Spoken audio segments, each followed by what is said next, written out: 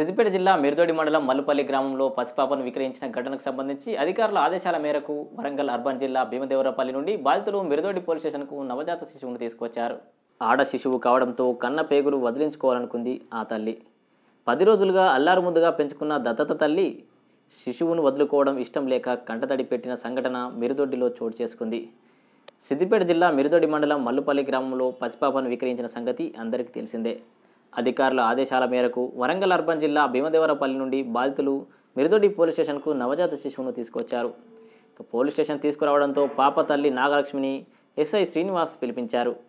కన్న తల్లి శిశువును వద్దు అనుకోవడంతో అధికారులు సిద్దిపేటలోని చైల్డ్ వెల్ఫేర్ సొసైటీకి శిశువును ఇచ్చేశారు. ఇక దత్తత తీసుకున్న తల్లిదండ్రులు బంధువులు ఒక్కసారిగా బోరున విలిపించారు. పాపను కన్న తల్లి తనకు పోషించే స్తోమత లేదని చేతులెత్తేయడం దత్తత తీసుకున్న వారు కంటతడి పెట్టడం అక్కడున్న వారి గుండెలను కదిలించేసింది.